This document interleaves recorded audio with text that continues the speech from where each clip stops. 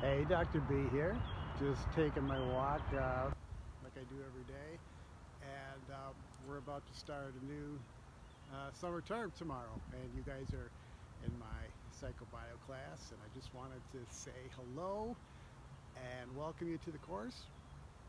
I'm looking forward to getting to know you if I don't already. And uh, even though it's an online course and that sometimes is difficult to do, um, so than an in-person class. And um, I just, if it's possible, I want to encourage you to um, do what you can to try to get to know me and all of your faculty. So uh, I'll be around a lot this summer.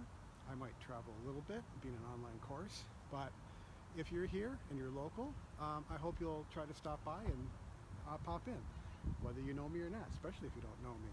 So anyway, uh, it doesn't feel like summer especially today. It's in the 40s, I think.